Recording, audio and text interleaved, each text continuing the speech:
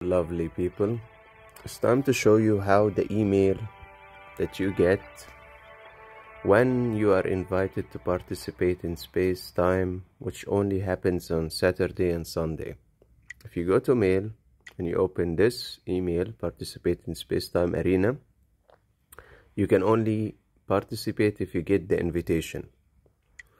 Now, let's explain how you actually get the invitation. You have to rank up of being the top 100 in the daily tournament, regardless if it's 77, 88, even if it's 99 or 100 exactly. Then you can participate. Why? What's the value? The rewards.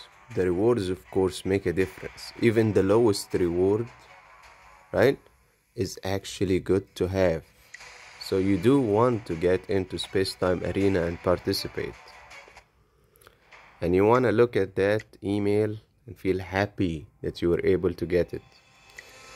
This was a short video about how do you actually get Spacetime Arena to open and for you to be a participant in it and gain its rewards.